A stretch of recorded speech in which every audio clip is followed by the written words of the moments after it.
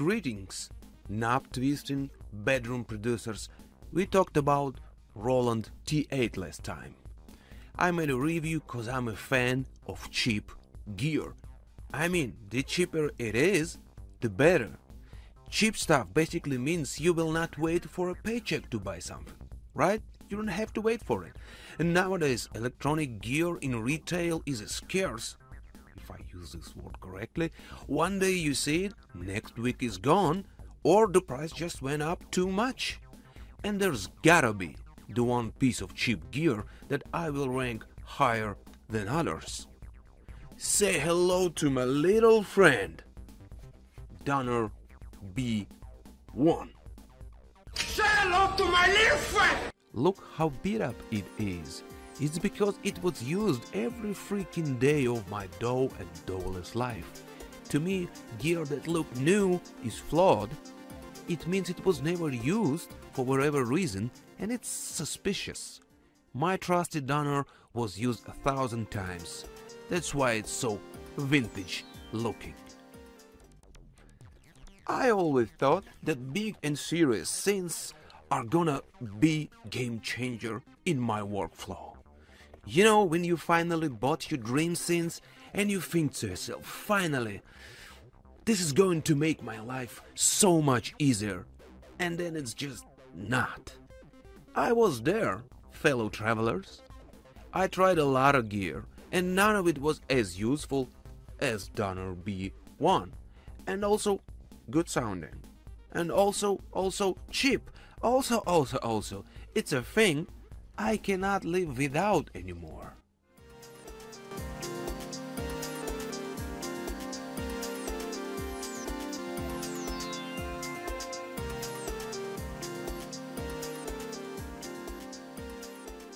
Nowadays, you can barely find analog monosynths in this price range. Yes, you can get your hands on Behringer version of ancient Roland acid machine, but good luck programming it. You will regret that. I have a video about it. And also, no keyboard. As of spring of 2024, Donner B1 is going for a hundred bucks. It was 200 when it came out, and even then, it was a steal and a bargain. In 2024, there is no direct competitors to B1. I mean, if you find an analog synth with a sequencer and a keyboard for a hundred except Uno synth, no, not from Chinese flea market known as Amazon etc., please let me know. Uno is also fun, but it was and still costs about 70 bucks more. In my area, it's actually twice the price in 2024. Uno have some other functions like noise generators and LFOs and all that jazz, so it can be a good choice, but for me personally, I never was a fan of the sound. I'm sorry. Uno is not made for acid, in my opinion. It's more for LFO oscillator twisting crowd. It's time to review this bad boy, Donner B1, analog mono bass synth with sequencer, keyboard and 5-pin MIDI ports. Let's do this. Creating sequences on a bass synth for whatever reason was always a problem. Original Roland bass synth was so cryptic that you basically needed a cheat codes to begin to use it. Cheat codes being a manual, of course, because there was no way for a regular person to decipher the cryptic logic. Behringer followed suit and re-released the OG with the same god-awful logical void in a place of regular UI. On Donner B1, the tables are turned. It's so easy to make a sequence that it's almost impossible not to understand how to do it. I mean, all you have to do is to press rec edit button and then press the musical keys 16 times in a row. If you mess something up, go back using arrow buttons. Blue lights will be your guide. After you're done, hit Rec Edit button again. Done! It's that easy. And if you want to erase and start from scratch, press clear. Also, in the latest update, some options was added and now white light on a musical keyboard show you the note you pressed or chose. You know, just in case if you, like me, have problems with understanding notes by so many functions made easy and in seconds. And in fact, latest update brought us song mode. And I know, I know what you're thinking. Oh my god, another song mode so poorly implemented that it's barely usable.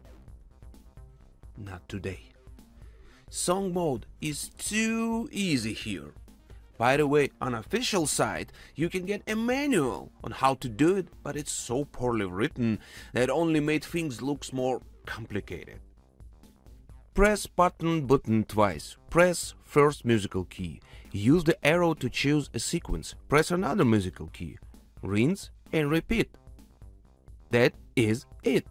Everything is automatically saved even if you turn the power off. Press button twice again to exit. Done. Now press place. Press the keys to choose the pattern you want to be played. If you want to make all of your sequences to play one after another without you switching the steps manually, press one button, left A sharp, and it's all done. Actually, that's some kind of free or free programming irony here. You have to know that, otherwise you will never guess it. But hey, we have a manual. Now to the sound settings. I know y'all waited for me to twist the knobs. Well, here we are. One oscillator. Square and not square. Nothing special. And this VCO knob is nothing but a tuning device. Oh, by the way, tuning in here is no problem. Device auto-tunes itself before every power on. And the knob have this tiny stop notch inside.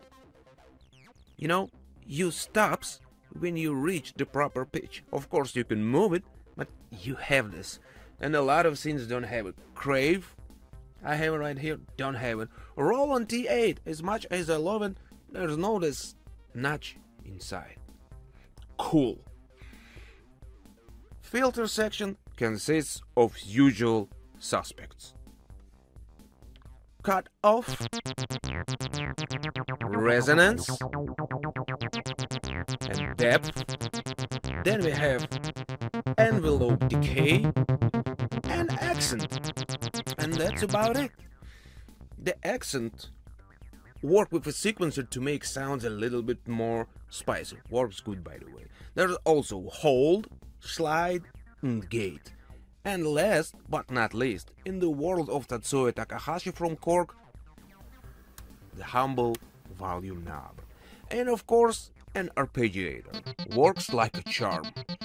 And have this hold function, which was so dearly missed on my Volca FM, my Volca Keys, and many other synths. Distortion here was a pleasant surprise. I have TD3 from Behringer as you know, and distortion feature on that device sounds more like a fuzz distortion pedal for guitar. You know, the cheap ones. Here on Donner, distortion is tailor-made for synth purposes and always sounds good, at least to my ears. Every move of distortion knobs make you sound different. Also, it can add a lot to accent and glides. Very, very good. Let's see it in action.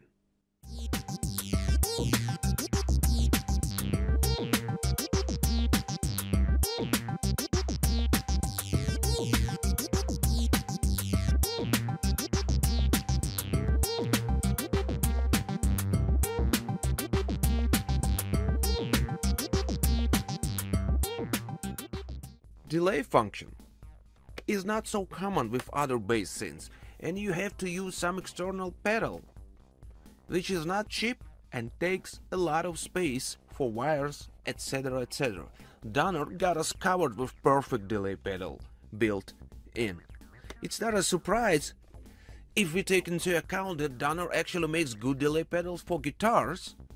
Delay have three encoders or knobs, level, time and feedback, and all of them, even cranked up to 11 is not destroying your sound, only adding to it. And the time knob sometimes provides interesting effects.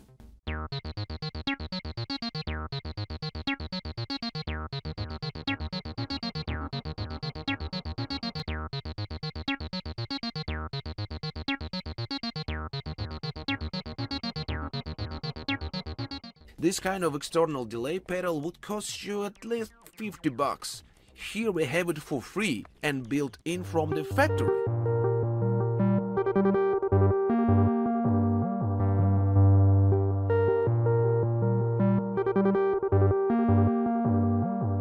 Also, it's not just a bass acid line thingy. It can play without adding slides like 303 does. Notes is not short and you can actually play music.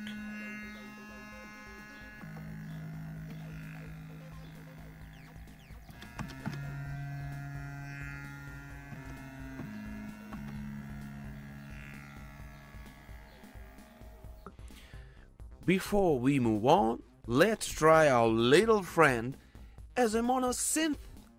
I mean, why not? After all, we have keyboard, so let's use it in this video game inspired slash plagiarized Electribe Jam.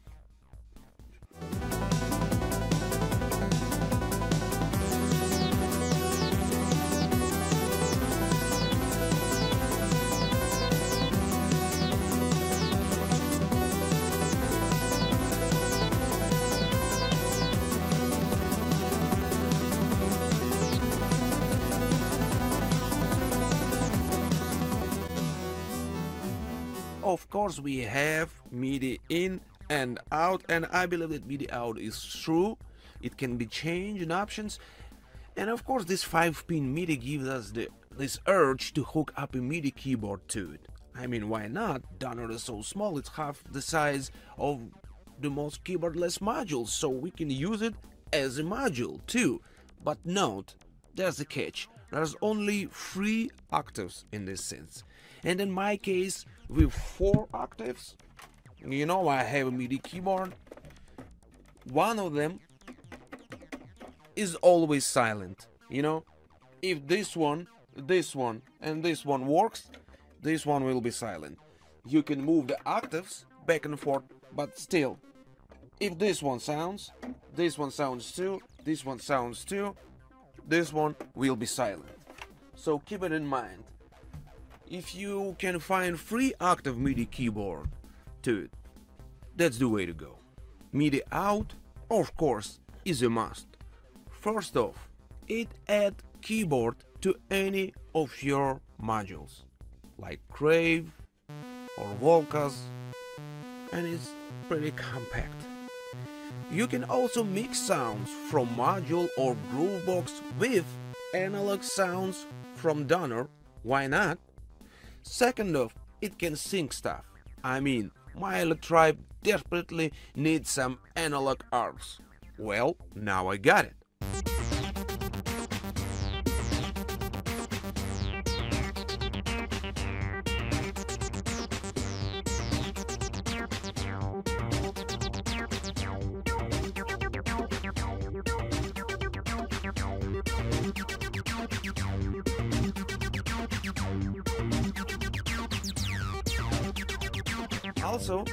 An Electribe or any other device of this kind.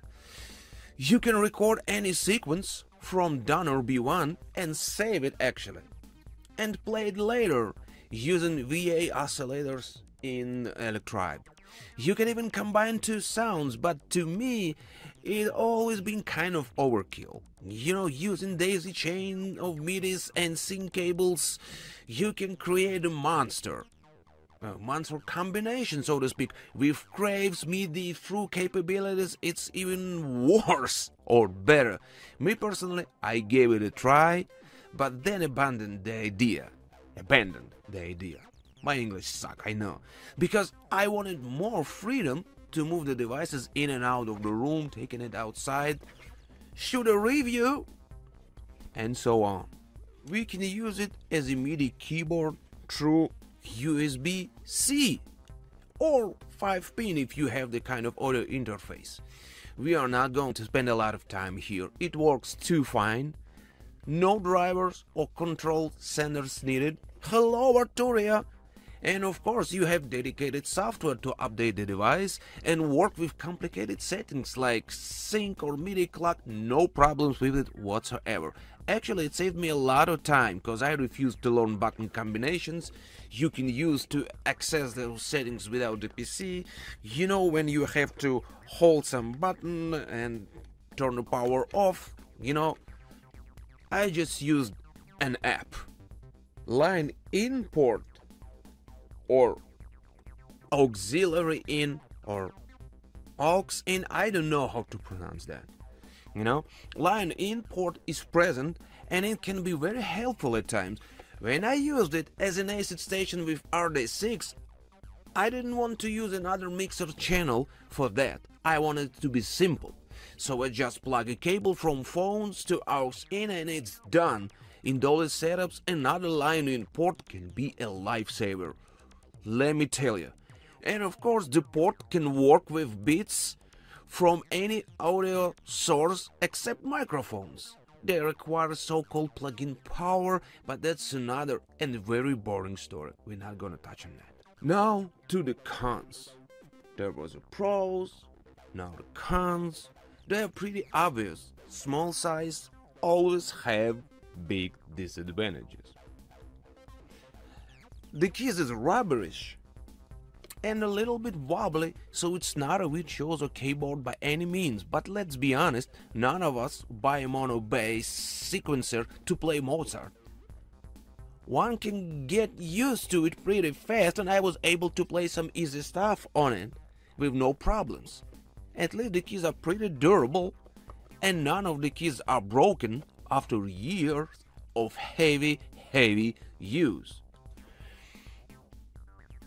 What really bugs me is the control keys. They are really, really small. Oh wait, I take it back. No problem with the keys. It's the letters under the keys. They are black on dark gray. Yes, the keys lights up, but not the letters under them. You really got to write it down to your muscle memory or have a very good lighting. Can you try to see it? Uh-huh. Next on the list of cons is the power supply. First off, it's proprietary Donner power supply and I don't know if you can use any other power brick without the risk of damaging the device. Second, the device does not support batteries and don't have a built-in one. It's a shame because B1 is so portable that you want to take it outside and basically everywhere with you. After all, isn't it the whole thing about portability? Of course, None of these flaws are deal breaker. I wish Donner had two spin-offs models. You know, first, let's call it B0, would be the same size, letters, etc., but would include built-in battery. There's enough space for it, I believe. And Vocaloid speaker. I don't know, maybe, why not? Second one, let's call it B2, would have three octaves, better keys and better controls. Mind you, Donner have a whole range of MIDI keyboards like that. So form factor wouldn't be an issue in these cases. I would love to see a model with built-in drum sounds as Roland T8 to make it on the go as a production machine.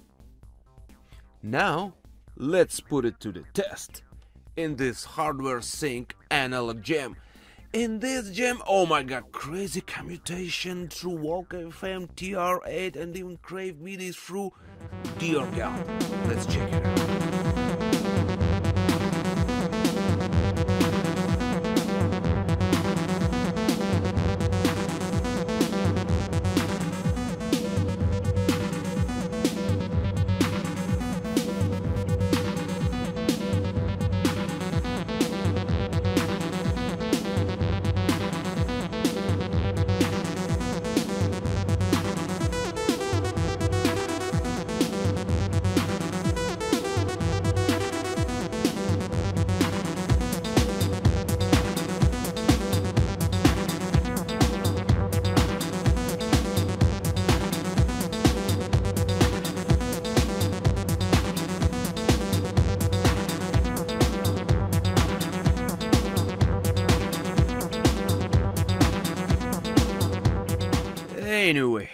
After all been said and done, there is nothing remotely close to Donner B1 in my opinion, especially in its price range. It's well made hardware sequencer, usable MIDI keyboard, and good analog monosynths, all in one compact package for only two or one hundred dollars. It may seem too good to be true, but it's a reality. I hold it in my hands. While there may be some no-name knockoffs available from unknown factories on Amazon, purchasing them is always a gamble. With Donner B1 there is no risk involved. The Donner B1 is a high quality, durable, and most importantly, kinda unique synthesizer that is highly capable. It's an original product that should not be overlooked. One of a kind that you simply cannot miss. Well, screw that. Screw all that fancy marketing words. Uh, actually, I don't sell anything to anyone and not sponsored by anyone, thank God. I love B1 because it saved me so much time and trouble. For whatever reason, everything on here worked. You know, it's like 303 song mode, but backwards. From software to every last option or cable input, all of this was there for me when I needed it. Easy programming. Yep. Song mode that's easy to use? Yes. Aux in? You got it. Sync that works every time? No problem. Analog sound in a tiny box? Got it. MIDI for hardware? No questions. Distortion and delay? Right here. It's hard to describe this feeling, and maybe it was just my case, but I don't care. You know that feeling? That feeling when someone is there for you? I felt it with Donner, and I'm sure you have your own love stories to share in the comments. See you next time. Bye.